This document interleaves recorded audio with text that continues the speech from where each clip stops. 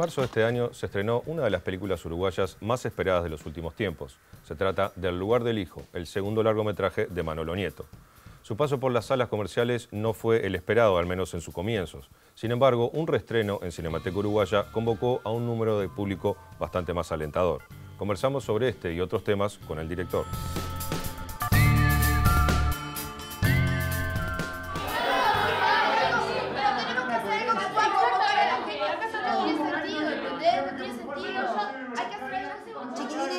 Había pasado un año de que la perrera había terminado su ciclo vital, así como de, salas y de festivales y de esas cosas. Y ya estaba sin hacer nada y sin ninguna idea. Y creo que fue eso, nomás. Entonces me puse a pensar qué hacer y, y encontré, este, como buscando, y que tenía algunas este, escenas pensadas, pero por separado, que no correspondían a un argumento, eran simplemente como situaciones y anotaciones que yo había hecho porque me gustaba esto, lo otro, y las empecé a reunir tratándolas de, de que formaran algo eh, y e, esa fue la, raíz del asunto. Mantengamos el silencio, por favor. Eh, nos acaban de informar que el papá de Ariel falleció, así que vamos a hacer un minuto de silencio por él.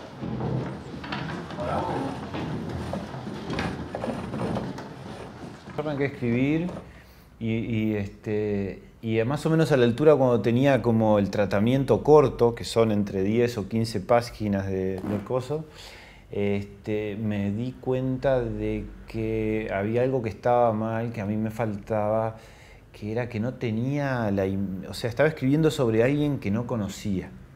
Eh, y no tenía como un referente una imagen en la cual este, apoyarme como para, para construir abstractamente el personaje, ¿no? Entonces, em, yo justo por esa época había conocido a Felipe Dieste, que es egresado de la Católica, igual que yo, y por esa época él estaba terminando su tesis de grado y, como nos conocemos de la pedrera también, me llamó para hacerme unas consultas.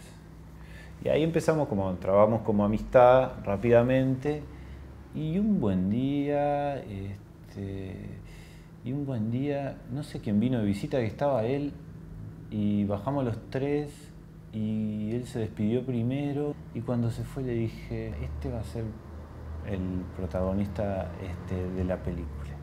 Pero se lo dije medio en joda y en realidad se lo estaba diciendo porque lo que yo iba a hacer era iba a agarrarlo como referente para la escritura. Pero por cómo es él, nada, durante mucho tiempo, aunque lo tuve en la cabeza y escribí sobre él, eh, nunca pensé que pudiera interpretar el personaje o que lo aceptara o que que aceptar hacerlo. Este, pero, pero yo escribí el guion sin ninguna mención a eso, sin ninguna mención a su característica física y motriz y, de, este, y del habla. El guion está escrito como para que lo pueda interpretar cualquiera. ¿Dónde lo sacaste? Me lo dio el escribano. Era mi viejo. No será mucho para vos. Me gusta como el ambiente este, rural, además de, fuera de Montevideo, y por otro lado es por, un tema como de cuando uno, este, vos, cuando vos este, filmás o hacer una película, es este, para mí como una forma también de, salir de mi mundo, salir de este mundo, de salir de, las cosas que, conozco y, de que sea como algo que implique como más como un descubrimiento, ¿no? Este, como imprimirle un poco el sentido como aventurero a las cosas, ¿viste?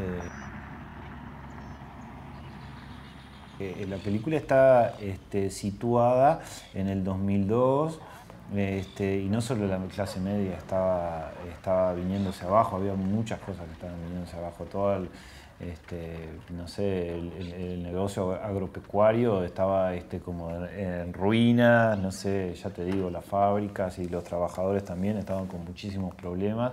De hecho, la ocupación de la universidad en esa época fue en solidaridad con la clase trabajadora.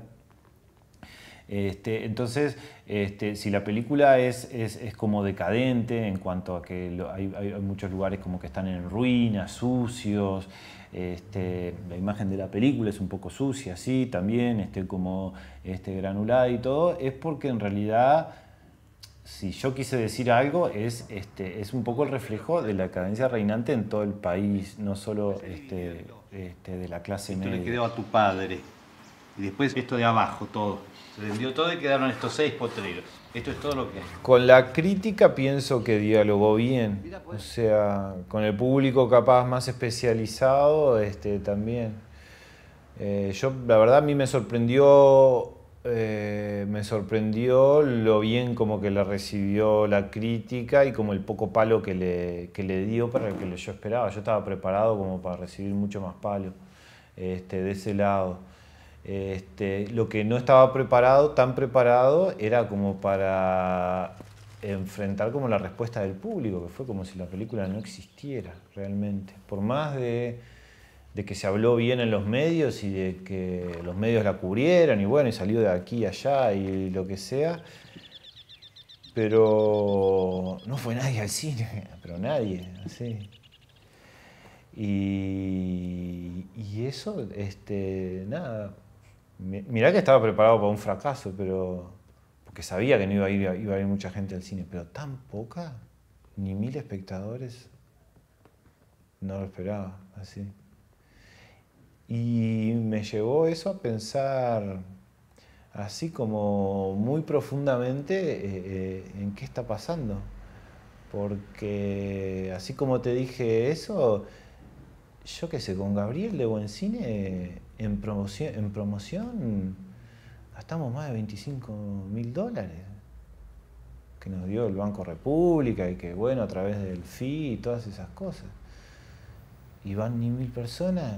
Digo, le hubiera pagado la entrada a la gente y me quedaba con plata. O sea, pero no, la cuestión es, es, es eso, es qué está pasando y por qué, y por qué sucede algo con una película en donde, yo qué sé, bueno, la crítica especializada dice que es buena, que está buena.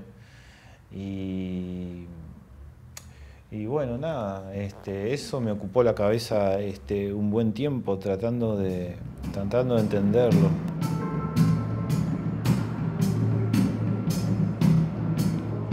Poniendo a, estás poniendo a, esta sociedad en la pantalla, estás poniendo, no sé, yo qué sé, como muchísimas cosas, te gusta, yo, o sea, si bien me importa un carajo económicamente el resultado acá, pero es el, es el público que más me importa, acá están mis amigos, y ni siquiera mis amigos fueron a ver la película del cine. Ni siquiera mis colegas, algunos todavía ni la vieron. Y, está, yo sé que es, es más complicado ir al cine este, ahora y que se necesita este, más tiempo. Este, ¿no? Que una película está tres semanas y es como si no estuviera, es casi como si estuviera dos días en cartel. O sea, el efecto es el mismo, ¿no? Este, eh, entonces está, me preguntaba, ¿dónde está la, dónde está el problema como de raíz? Este, no sé. Pienso que en la cabeza de la gente, eh, que es, es- es donde está como así todo.